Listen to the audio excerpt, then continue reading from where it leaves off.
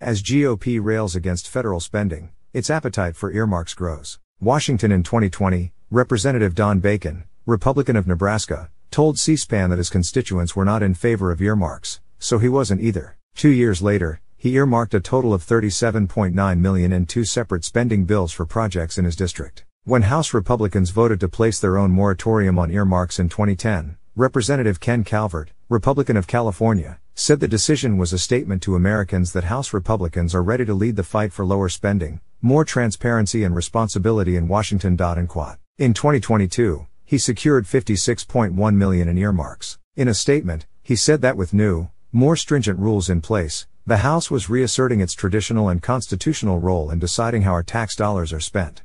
And while the House Freedom Caucus, the hard right Republican group, called last summer for reinstating a ban on earmarks that took effect in 2011, one of its members, Representative Byron Donalds of Florida, secured 25.2 million for projects in his district. In an interview, he too said the changes put in place to make the practice more transparent had made him more comfortable with partaking in the age-old congressional ritual. Even as Republicans, newly empowered after taking control of the House, call for deep government spending cuts and accuse Democrats of profligacy with taxpayer dollars, a growing number of them have joined Democrats in helping themselves to larger amounts of cash for their states and districts in the form of earmarks now rebranded as community project funding that allow lawmakers to direct federal money to pet projects. A review by the New York Times of the nearly 16 billion in earmarks included in the 1.7 trillion spending law enacted in December more than 7,200 projects and all revealed that earmarks requested by members of both parties skyrocketed over the last year. And while Democrats secured a greater amount of spending on pet projects overall than Republicans did, the increase in GOP earmarks since last spring was larger.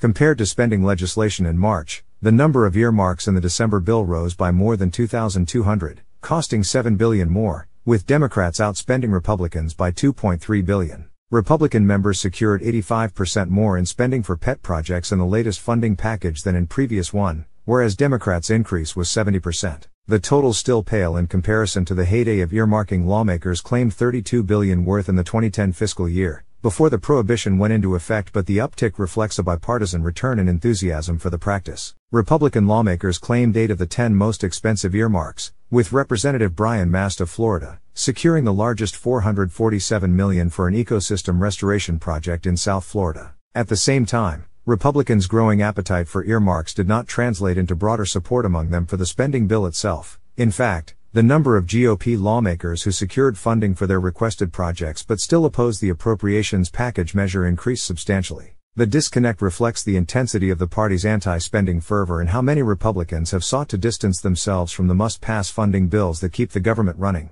even as they profit politically from their enactment. Earmarks make up less than 1% of the discretionary spending allocated annually by Congress, but they have sometimes been abused in the past. A number of scandals led to the ban in 2011 and are often condemned, particularly by Republicans, as a symbol of Washington's addiction to spending. Critics deride earmarks as pork, a term with a murky history that was used around the turn of the 20th century to compare lawmakers' zeal for federal money to tales of enslaved people rushing toward barrels of salted pork.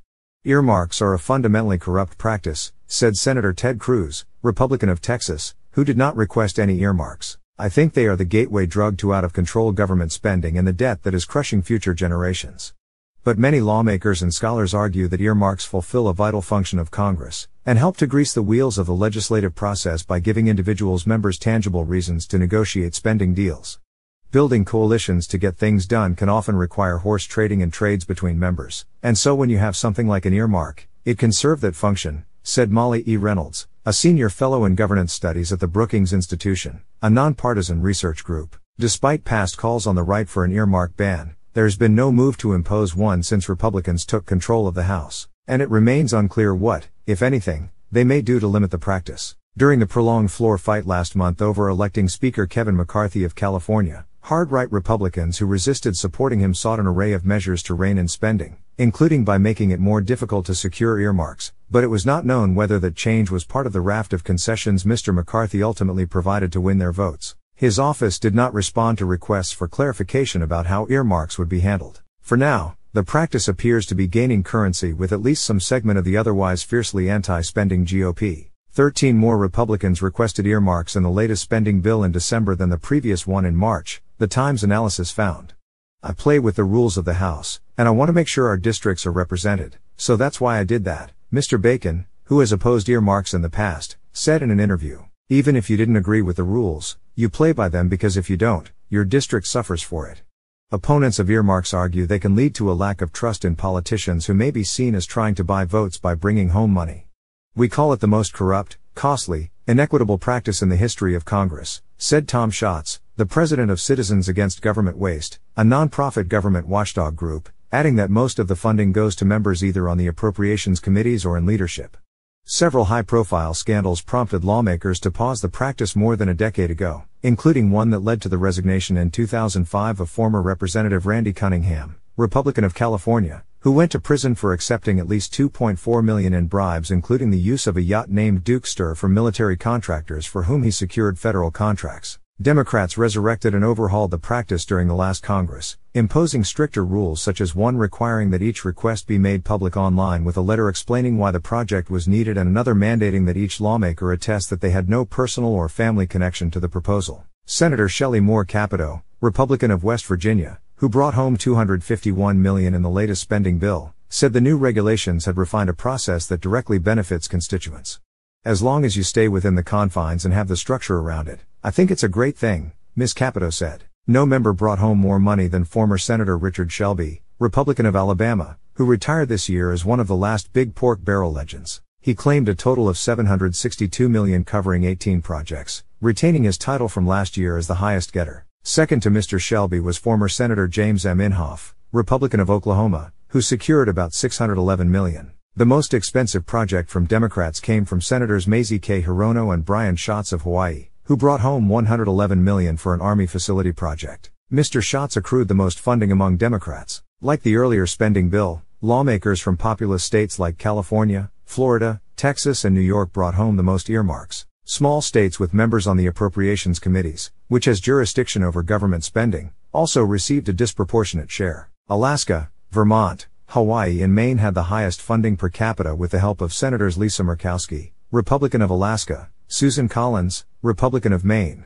Mr. Schatz, and former Senator Patrick Leahy, Democrat of Vermont, who served as chairman of the committee. But an earmark did not necessarily buy support for the spending package. 107 Republicans and one Democrat who had secured projects ultimately opposed it, a greater number than in the previous bill, when 68 Republicans and 6 Democrats did the same. Representative Alexandria Ocasio Cortez, Democrat of New York, who secured 15.8 million, said she opposed the legislation anyway because it included more funding for the Homeland Security Department. Representative Thomas Massie, Republican of Kentucky and a fiscal hawk, won approval of transportation related projects he said had a federal nexus, but also voted no, arguing that the bill was stuffed with earmarks that were purely parochial. Earmarks in the latest bill were devoted to a wide range of efforts, including 1 million for a Mississippi fish-eating bird control program, and 4 million for a Little Saigon landmark project in Washington state that would create a Vietnamese cultural center, housing and a shopping center. Other projects caused rancor among Republicans.